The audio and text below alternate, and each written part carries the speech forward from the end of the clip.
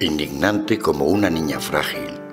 Se extingue el crepúsculo entre la muchedumbre en la que busco el rostro de mi desventurada enfermedad, o el pecado cómplice que preñe el silencio de todos los ojos.